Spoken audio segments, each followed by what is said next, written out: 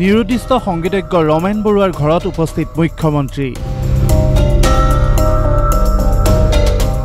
পৰিয়ালে বিচাৰিলে ঐতিহাসিক ঘৰটো সংৰক্ষণ কৰিব চৰকাৰে। চৰকাৰে সংৰক্ষণৰ ব্যৱস্থা ল'লে ভাল হয় ক'লে দীপেন বৰুৱাই। নাই বুলিয়েই নোহোৱা হৈ গ'ল সকলোৰে চিনাকি মানুহজন। বিগত তেইছটা দিনে কোনো সন্ধান নাই সংগীতজ্ঞ ৰমেন বৰুৱাৰ। লুইটখন চলাথ কৰিও কোনেও বিচাৰি উলিয়াব নোৱাৰিলে বৰুৱাক হাইকোৰ্টৰ কাষেৰে ভৰা লুইটৰ পানী জুৱলিলৈ তেওঁ যোৱাৰ প্ৰমাণ আছে। উঠি অহাৰ কোনো চিন নাই।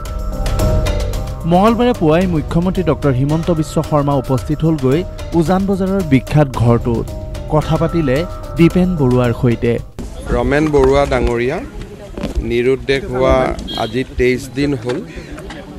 আৰু পুলিচে অক্লান্ত পৰিশ্ৰম কৰাৰ পিছতো তেখেতৰ সন্ধান উলিয়াব পৰা নাই। ব্ৰহ্মপুত্ৰ নদীত যিটো তেওঁৰ ওচৰত যিটো শেষ খোজ আছিল সেই খোজটো পৰ্যন্ত পুলিচে পাব পাৰিছে।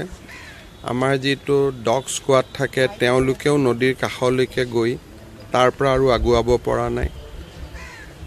তেখেত নদীৰ কাষলৈকে যোৱা দেখা বহুকেইজন সাক্ষীও পোৱা গৈছে। কিন্তু ঘূৰি অহা সাক্ষী আদি কোনেও আজিলৈকে পোৱা নাই। মুখ্যমন্ত্ৰীয়ে ক'লে পুলিচে এতিয়াও অব্যাহত ৰাখিছে অভিযান। কিন্তু তেইছ দিনৰ পিছত সকলোখিনি এতিয়া ভাগ্যৰ ওপৰত নিৰ্ভৰশীল। পুলিচে নিজৰ অনুসন্ধান অব্যাহত ৰাখিছে। মই কিবা এটা খবৰ পাম বুলিয়ে মই অহা নাছিলোঁ কিন্তু আজি তেইছ দিন হ'ল। দীপেন্দা আৰু বৌসকলক আজি এবাৰ লগ কৰিলোঁ। পুলিচে নিজৰ প্ৰচেষ্টা অব্যাহত ৰাখিব আৰু বাকী ভাগ্যত যি আছে সেইখিনি। বিখ্যাত পৰিয়ালটোৰ সৈতে নিজৰ পুৰণি সম্পৰ্কৰ কথাও স্মৰণ কৰিলে মুখ্যমন্ত্ৰীয়ে। এই ঘৰখনৰ লগত মোৰ বহুতদিনীয়া পুৰণা সম্পৰ্ক নীপ বৰুৱা আৰু নীৰেণ বৰুৱা। দুইজনৰ লগত মই একেলগে ককা দেউতা নাতি হাতী বোলছবি কৰিছিলোঁ। আৰু অনাতাঁৰ কেন্দ্ৰত কাম কৰি থকাৰ পৰাই নীৰেণ বৰুৱাৰ লগত মোৰ বহুত ব্যক্তিগত সম্পৰ্ক। দীপেন বৰুৱাৰ গানৰ মই গানটো গায়ো থাকোঁ দীপেনদাৰ গান এনি মুহূৰ্ততে। আৰু দীপেনদাৰ গান শুনি অত্যন্ত ভাল পাওঁ। গিৰিন্দাৰ লগতো যথেষ্ট ভাল আছিলে। এই ঘৰটোৰ চহকী ইতিহাস আছে। কি নাছিল উজান বজাৰৰ বৰুৱা পৰিয়ালত। পৰিচালক অভিনেতা গায়ক গীতিকাৰ খেলুৱৈ ৰাজনৈতিক নেতা একোৰে অভাৱ নাছিল। এটা প্ৰশ্নৰ উত্তৰত মুখ্যমন্ত্ৰীয়ে ক'লে পৰিয়ালে বিচাৰিলে ঐতিহাসিক ঘৰটো সংৰক্ষণৰ কথা চৰকাৰে চিন্তা কৰিব। তেখেতসকলে বিচাৰিলেতো এইটো সংৰক্ষণটোতো মই ক'লে নহ'ব। তেখেতসকলৰ ইয়াতে সম্পত্তি আছে পৰিয়াল আছে নাতি আছে। গতিকে গতিকে মই ঘৰটো সংৰক্ষণ কৰিম বুলিতো ক'ব নোৱাৰোঁ। আৰু তেওঁলোকৰ পৰিকল্পনাও থাকিব। গতিকে এইটোতো এটা ডাঙৰ মাটি বহুমূল্যৱান মাটি পৰিয়ালটোত ইমান মানুহ আছে তেওঁলোকৰ সন্তান আছে নাতি আছে। গতিকে চৰকাৰৰ পৰা এই বিষয়ে কোৱাটো ঠিক নহয় কিন্তু পৰিয়ালে কিবা ক'লে তাক চৰকাৰে ৰেচপন্স কৰাটো বেলেগ কথা।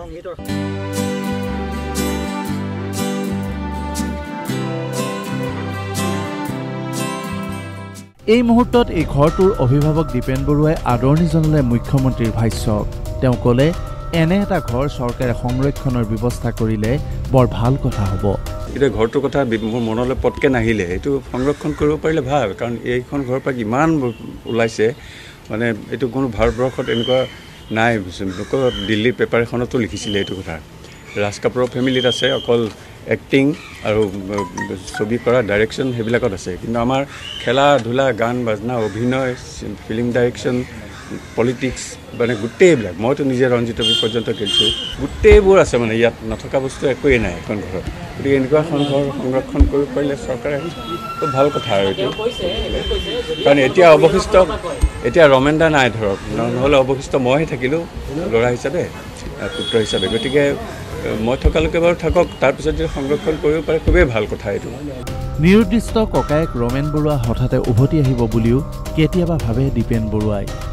চিৰদিনলৈ মানুহজন এনেকৈ নোহোৱা হৈ যাব বুলি বিশ্বাস কৰিব পৰা নাই সংগীত শিল্পীজনে। আছে আছে লাগি থাকে।